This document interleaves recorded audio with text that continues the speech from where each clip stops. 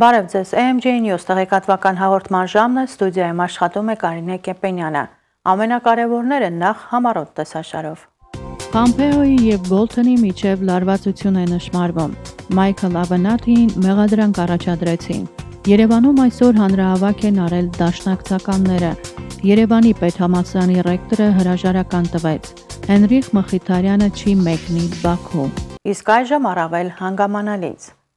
Ամերիկայի եւ Իրանի հարաբերություններում լարվածությունն աճում է։ Որոշ դեմոկրատ եւ հանրապետական օրենսդիրներ կոչ են անում չեղյալ համարել անվերջ պատերազմի օրենքը։ Դեմոկրատ կոնգրեսական Բարբրա Լին եւ հանրապետական Թամաս Մասին կոչ են արել չեղարկել 2001 թվականի ռազմական ուժի կիրառման թույլատրման օրենքը, որն ընդունվել էր սեպտեմբերի 11-ի ահաբեկչությունից մի քանի օր անց։ Ներկայացուցիչների պալատի ենթանձնաժողովը հավանություն է տվել պաշտպանական ծախսերի մասին օրինագծի փոփոխություններին, որով չեղարկվում է AUMF-ը։ Օրենսդիրները հայտարարել են, որ 18 տարի անց ժամանակն է, որ կոնգրեսը չեղարկի այդ օրենքը եւ վերջ դնի անverջ պատերազմին։ Կոնգրեսի արտաքին հարաբերությունների կոմիտեն արգելափակել է Թուրքիային F-35 կործանիչների վաճառքը։ Ավելին, կոնգրեսում թուրքական հարցերով կոմիտեի համանախագահներ Ջո Ուիլսոնը եւ Սթիվ Շբաթը դատապարտել են Թուրքիայի նախագահ Էրդողանի որոշումը Ռուսաստանից S-400 համալիրներ գնելու մասին։ Նրանց խոսքով Էրդողանի որոշումը վնաս է հասցնում Թուրքիայի եւ Ամերիկայի հարաբերություններին։ Ամերիկայի համար վտանգավոր եւ բացարձակապես անընդունելի է։ Congressional Quarterly պարբերականը հայտնում է, որ Վաշինգտոնում արդեն փնտրում են եվրոպական եւ ճապոնական գործանիչների համար F-35-ի մասեր արտադրող այլընտրանք Թուրքիային։ Հաղորդվում է, որ որոշ երկրներ շահագրգռված են 100 գործանիչների գնմամբ որոնք ընտրվել էին Թուրքիայի համար։ Հայկական եւ հունական համայնքների ներկայացուցիչները ողջունել են կոմիտեի որոշումը։ Փամփեոյի եւ Բոլթոնի միջև լարվածություն է նշмарվում։ Ամերիկյան արտաքին քաղաքական ուղեգծի վրա ազդեցության համար կատաղի մրցակցություն է առաջացել պետքարտուղար Մայք Փամփեոյի եւ Միացյալ Նահանգների նախագահի ազգային անվտանգության հարցերով օգնական Ջան Բոլթոնի միջև։ Նրանց միջև լարվածությունն աճում է Իրանի, Հյուսիսային Կորեայի եւ Վենեսուելայի հետ Վաշինգտոնի խնդիրների ֆոնին։ Նրանց տվյալներով երկու ճուրակների միջև լարվածությունը պայմանավորված է ոչ թե արտաքին քաղաքականության նկատմամբ մոտեցումների տարբերությամբ, այլ պաշտոնյական պարտականությունների կատարման ոճով։ Այսպես, ազգային անվտանգության հարցերով Միացյալ Նահանգների նախագահի օկնականի շրջահայացությունը հարուցում է Պետքարտուղարի բացահայտ գրգռվածությունը եւ արտաքին քաղաքական գերատեսչության ղեկավարի իր լիազորությունների բռնատիրման փորձի կասկածանքներ։ Աղբյուրներից մեկի մոտ տպավորություն է ստեղծվել, թե Ջան Բոլթոնը իրեն պետքարտուղար է ներկայացնում եւ չափազանց հաճախ է դիմում Twitter-ին նշելու իր դիրքորոշումը արտաքին քաղաքականության այս կամ այն հրատապ թեմայի վերաբերյալ։ Հրապարակման համաձայն Փամփեոյի եւ Բոլթոնի միջև լարվածությունը դրսևորվում է Սպիտակ տանը կից ազգային անվտանգության խորհրդի խորհրդակցություններում։ Կան տարաձայնություններ եւ դա նկատելի է դառնում նշել է աղբյուրներից մեկը։ Մնացած աղբյուրները հավատացնում են, որ բանն առայժմ բացահայտ դիմակայության չի հասել։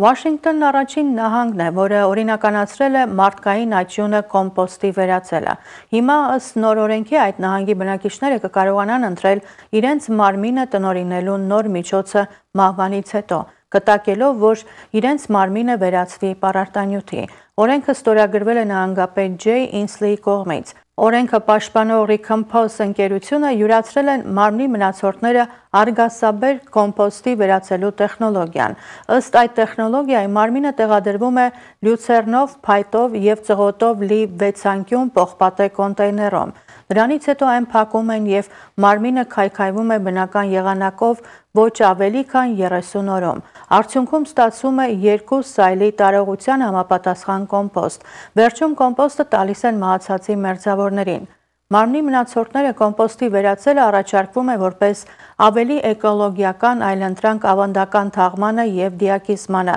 Այն նաեւ կարող է դառնալ խոշոր քաղաքներում գերեզմանատեղիների անբավարարության խնդրի լուծում։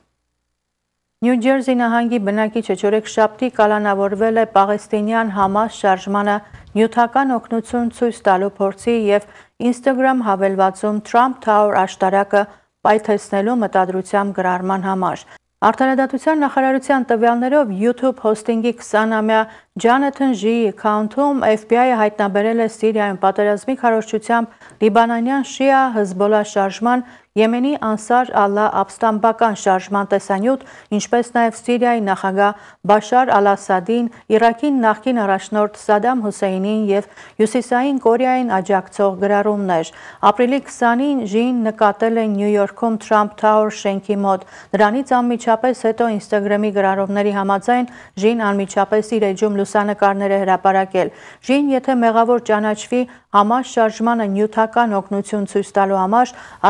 առավելագույնը 20 տարի ազատազրկում եւ 250 հազար դոլար տուգանք է սպառնում։ Օրեգոնի բնակիչը խոստովանել է, որ հորինել է հապշտակության մասին պատմություն սեփական տունը թալանելու մասին, որպիսի թաքցնի, որ 700 դոլար է գրպանել, որոնք վաստակել էր նրա սկաուտ աղջիկը թխվածքաբլիթ վաճառելով։ Brian David Couture-ը ընդունել է ոստիկանություն սուտ դիմում ներկայացնելու մեղքը։ Ոստիկանները տղամարդուն հայտնաբերել են ուշաթափ վիճակում եւ տարել հիվանդանոց։ Նա սպաներին տեղեկացրել է, թե պայքարել է գողերի դեմ։ Քնիշներն հայտարարել են, որ քթյուրի տունը խուզարկել են եւ գողացել 700 դոլար, որոնք նրա աղջիկը վաստակել էր թխվածքաբլիթներ վաճառելով որպես սկաուտ։ Տանը արյուն է հատնաբերվել, բայց քթյուրն ասել է, որ դա ամենայն հավանականությամբ իր արյունն է։ Կասկածյալները չեն հայտնաբերվել եւ քննիչները մի քանի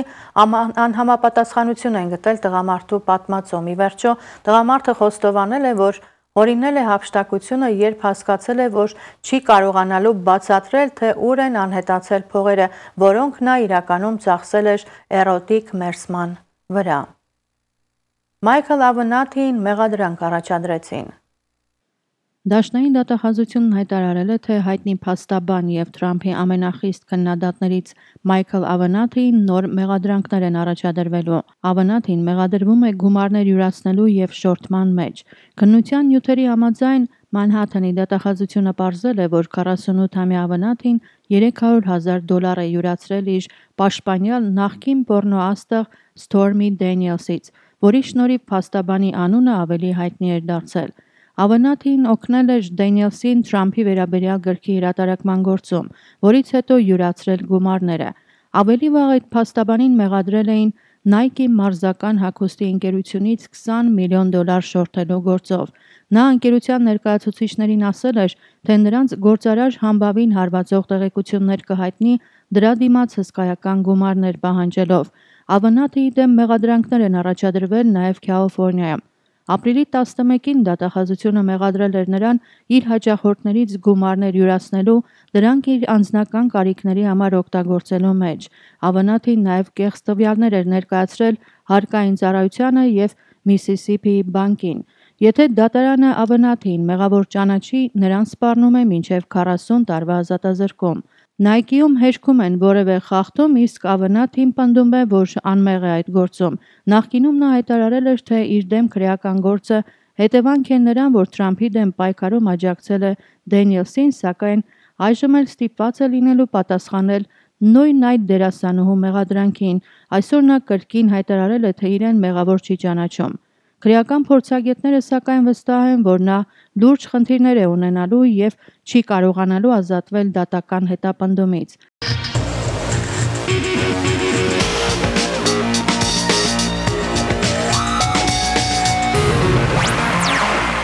Կալիֆոռնիա նահանգի սենատը միաձայն հավանություն է տվել SB 302 օրինագծին, որով վերականգնվում է Կալիֆոռնիայի եւ Հայաստանի միջև առևտրային համաձայնագիրը։ Օրինագիծը ներկայացրել է սենատոր Էնթոնի Փորտանտինոն։ Նրա խոսքով SB 302-ը պաշտոնականացնում է Կալիֆոռնիայի եւ Հայաստանի միջև առևտրատնտեսական հարաբերությունները։ Ես անհամբերությամբ եմ սպասում երկրում առևտրային ներկայացության բացելու հնարավորությանը։ Կալիֆոռնիան տնտեսական առաջնորդ է, իսկ հայկական համայնքը մեր հաջողության կենսականորեն կարևոր տարրը նշել է Փորթանտինոն։ Նշենք, որ 2019 թվականի մարտին այս օրինագիծը արժանացել էր Կալիֆոռնիա նահանգի սենատի բիզնեսի եւ մասնագիտությունների հարցերով կոմիտեի միաձայն հավանությանը։ Նախագծի քննարկմանը մասնակցել էր նաեւ Հայաստանի գլխավոր հյուպատոս Արմեն Բայբորթյանը։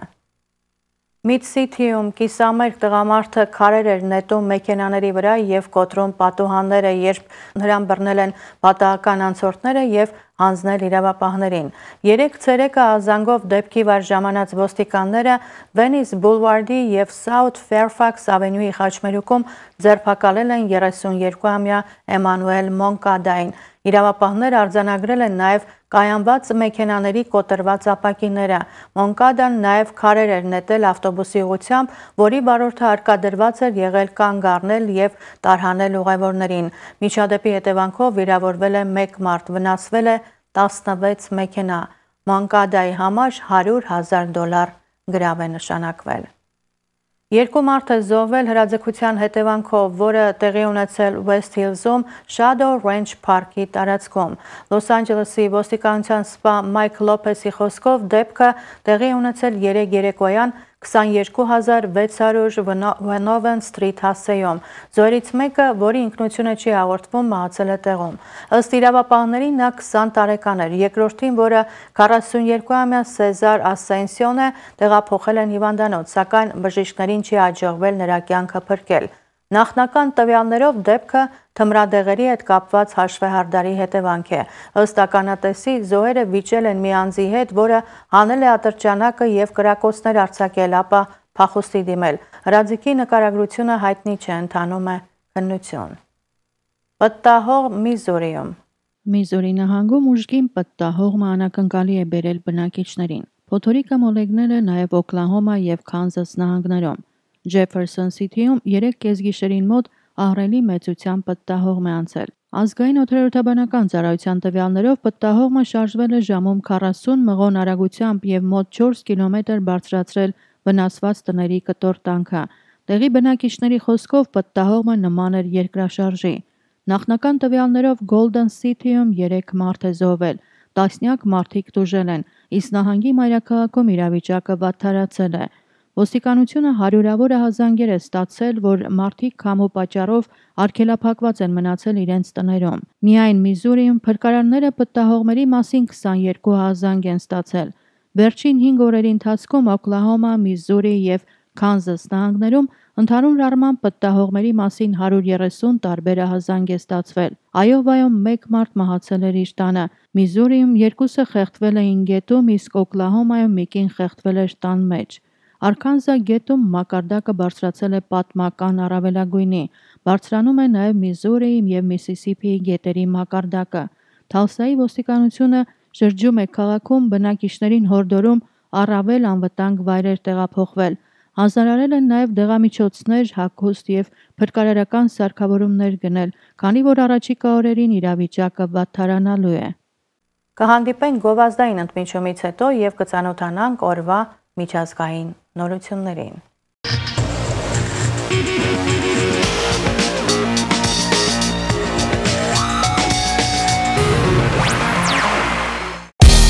Աչքերի ստուգման եւ ակնոց պատվիրելու համար այցել եք Glendale-ում գտնվող Modern Optometry կենտրոն։ Մեզ մոտ դուք կարող եք պատվիրել Gucci, Christian Dior, Versace ֆիրմաների արևային եւ օպտիկական նորաձև ակնոցներ, գունավոր կոնտակտային լենզեր, իսկ արևային ակնոցներն առաջարկում ենք զերծված գներով։ Այս ամսվա ընթացքում աչքերի ստուգման արժեքը 50 դոլար է։ Modern Optometry կենտրոնը համալրվել է վերջին սերնդի կատարելագործված աչքերի հատակի մանրակրկիտ ստուգման սարքավորմամբ, որը միակն է Glendale-ում։ Այս սարքավորմամբ ձեր աչքերը ստուգելու դեպքում ակնոցը ձեռք կբերեք սկսած 40 դոլարից։ Մենք ընդունում ենք Medicare եւ տարբեր տեսակի ապահովություններ։ Տրամադրում ենք հատուկ զեղչեր senior citizen-ների համար։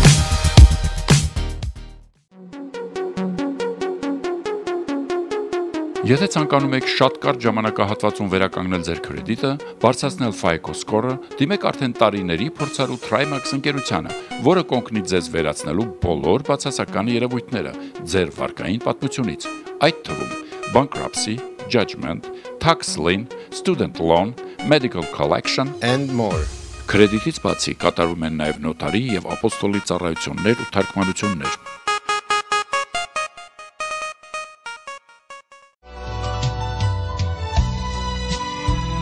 Ճանաչված բժիշկ PhD Հենրի Քանգի ասեղնաբուժության կենտրոնը ձեր ցավերի եւ հիվանդության իսկական սպեղանի կդառնա։ Կոսմետիկ ասեղնաբուժություն եւ քաշի վերահսկում, մկանային եւ ընդհանուր ցավեր, սթրեսներ եւ վախեր, քնի խանգարումներ, իշիաս, գլխացավ, պարանոցի ցավեր, պրոստատիտ։ Ձեր հիվանդությունը կմնա անցյալում, եթե դիմեք մեր օգնությանը։ Մի հապաղեք, զանգեք, հենց հիմա հերթագրվեք եւ ազատվեք ձեզ տանջող ցավերից 818 385 0916 հեռախոսահամարով։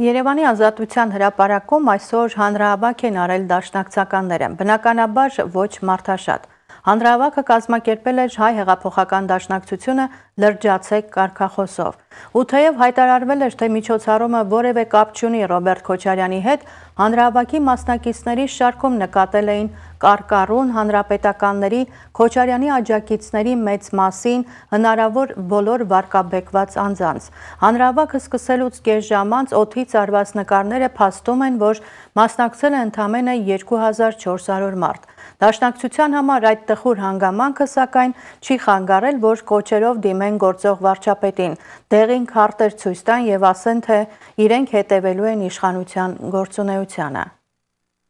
Երևանի պետական համասարանի ռեկտոր Արամ Սիմոնյանը այսօր հրաժարական է տվել։ Սիմոնյանը գործընկերներին այդ մասին տեղեկացրել է գիտխորհրդի նիստի ժամանակ։ Երևանի պետհամասարանի մամուլի խոսնակ Գևորգ Էմինտերյանը ազատությանը փոխանցեց, թե ինչ պատճառաբանությամբ է Արամ Սիմոնյանը հրաժարական տվել։ Ինքն ասաց, որ ես թույլ չեմ տա, որ համասարանի 100-ամյակը ստվերվի ոչ մի շնորհավորանք չեղավ 100-ամյակի կապակցությամբ եւ այդ պատճառով ես հրաժարական եմ տալիս։ Նշենք, որ հանրապետականը այս անձը հեղափոխությունից հետո հրաժարվել էր ինքնակամ հրաժարական տալ, նույնիսկ ուսանողների լայնածավալ բողոքի ցույցերից հետո։ Տեղեկություն տեղեկություններ կային, որ նրան Սերժ Սարգսյանն էր հրահանգել, որ հրաժարական չտա։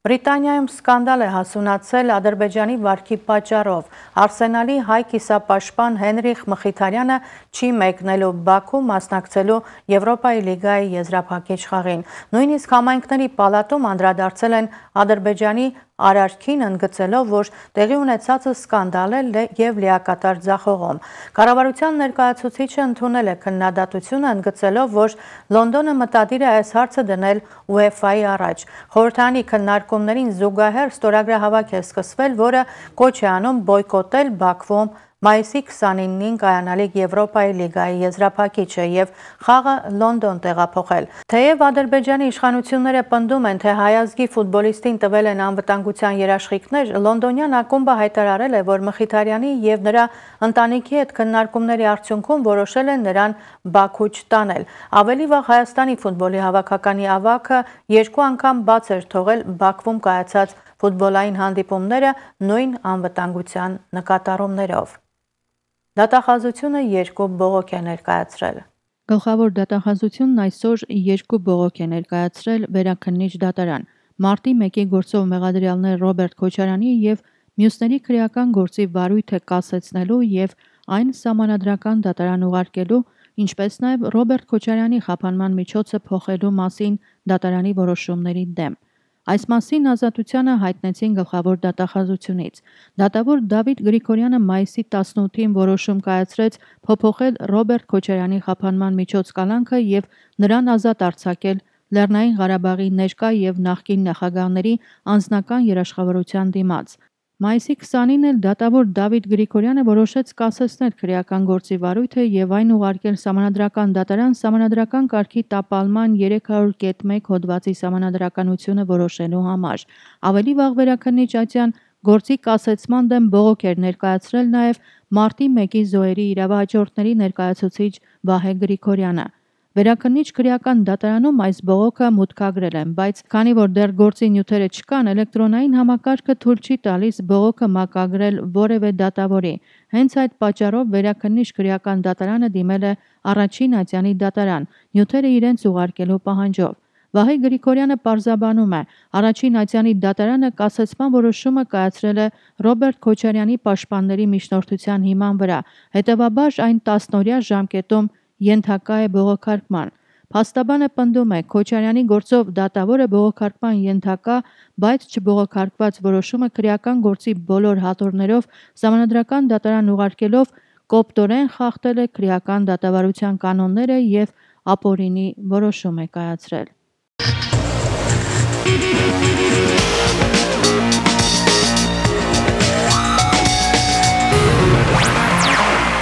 Միացյալ Նահանգների արդարադատության նախարարությունը եւս 17 կետով մեղադրանք է առաջադրել WikiLeaks-ի հիմնադիր Ջուլիան Ասանջին։ Մեղադրանքների թվում է գաղտնի աղբյուրների անօրինական հրապարակում, ինչպես նաև հանցավոր համաձայնություն հետախուզության նախկին ռազմական վերլուծաբան Չելսի Մենինգի հետ եւ նրան օգնության տրամադրում գաղտնի տեղեկատվության ստացման հարցում։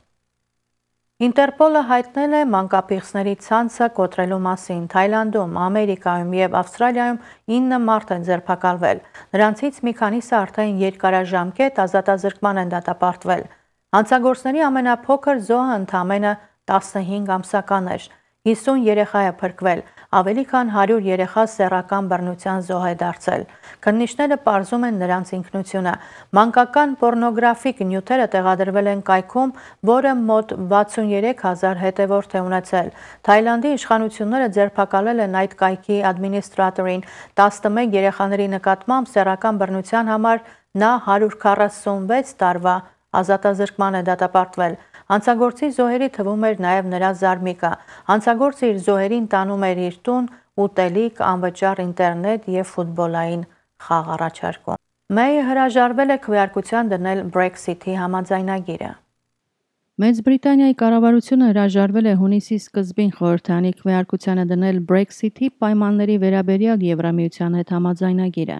Այդ մասին ասել է խորհրդարանում իշխող պահպանողական կուսակցության կազմակերպիչ Մարկ Սփենսերը։ Հունիսի 3-ից 7-ի համար կառավարության կողմից Համայնքների պալատի նիստերի ներկայացված օրակարգում Եվրամիության հետ գործարքի շուրջ քվեարկություն չի նշանակված։ Ավելի վաղ Մեծ Բրիտանիայի վարչապետ Թրիզա Մեյը հայտարարել էր հունիսի 3-ին սկսվող շաբաթվա ընթացքում գործարքի շուրջ 4-րդ քվեարկությունն անցկացնելու մտադրության մասին, սակայն նա բախվել է սեփական կառավարության անդամների կոշտ ընդդիմությանը, որոնք հայտարարել են, որ փոփոխած համաձայնագիրը բովանդակում է Brexit-ի չափազանց մեղմ տարբերակ։ Ընսմին բոլոր կանխատեսումների համաձայն падգամավորները մտադիր են 4-րդ անգամ անընդմեջ մերժել գործարքը։ BBC-ի եւ The Daily Telegraph 30 տեղեկատվության համաձայն վարչապետի կողմնակիցներից շատերը հրաժարվել են աջակցել նրան այն բանից հետո, երբ նա մայիսի 21-ին խոստացավ падգամավորներին, որ նրանք կկարողանան քվեարկել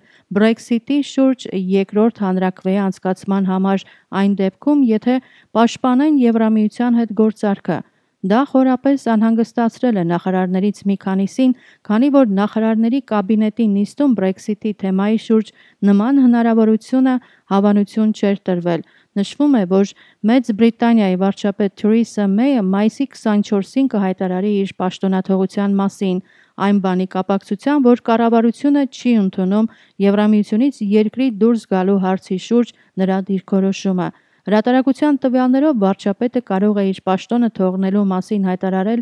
1922 կոմիտեի ղեկավար Գրեմ Բրեյդի հետ ուրբաթ օրը նշանակված հանդիպումից հետո կոմիտե, որը միավորում է թորիների խորհրդարանականներին եւ լուծում է կուսակցության ղեկավարի ընտրման կամ փոխարինման հարցերը։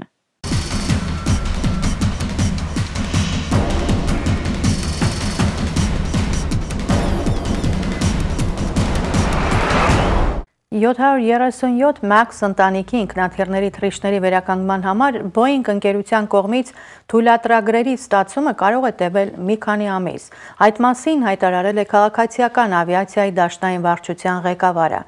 Այս պահին FAA-ը դեռ սպասում է մինչև Boeing-ը պաշտոնապես ներկայացնի ծրագրային ապահովման նորացումը, որը կօգնի խուսափելու այն խնդիրներից, որոնք աղետների հանգեցրեցին անցյալ տարի Ինդոնեզիայում եւ ընթացիկ տարում Եթովպիայում հայտարարել է Elwell-ը Թեքսասում 30 միջազգային ավիակարգավորիչների ներկայացուցիչների հանդիպման նախորյակին։ Ընդհանուր առմամբ այդ երկու աղետներում զոհվել է 346 մարդ։ Նրա խոսքով վարչությունը առայժմ չի որոշել, թե անհրաժեշտ կլինի արդյոք, որ օթաչուները պարտադիր կարգով վերապատրաստում անցնեն թռիչքների սիմուլյատորների վրա նորացման թողարկումից հետո։ Եթե դա անհրաժեշտ համարվի, թռիչքների վերսկսումը կարող է զգալիորեն ձգձգվել։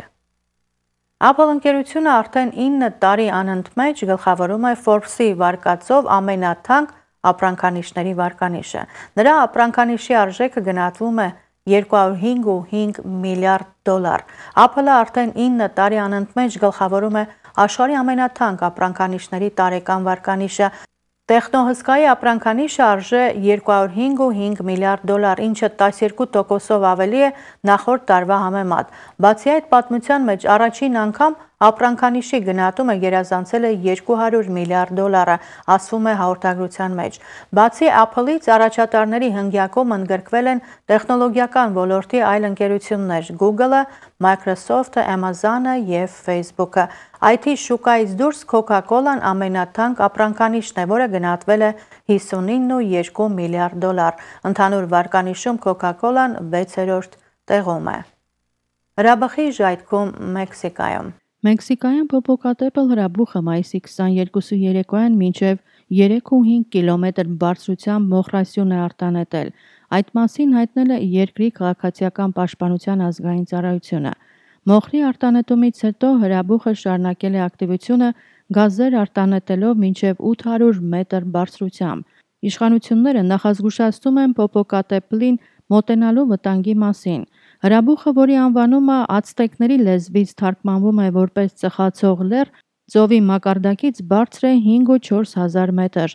Այն արդեն վաղուց դարձել է Մեքսիկայի խորհրդանիշներից մեկը։ Ներկայում հրաբխի ակտիվությունը եւ մոխրի արտանետումը լրացուցիչ վտանգ են ներկայացնում վերջերս մտնոլորտի սաստիկ աղտոտման կապակցությամբ, որն անցյալ շաբաթ գրանցվել է Մեխիկո քաղաքի ամբողջ տարածքում։ Այսօր այսքանն էինք նախատեսել։ Կհանդիպենք վաղը։ Դիտեք մեզ AMGA հեռուստաընկերության եթերում եւ դուք տեղեկացված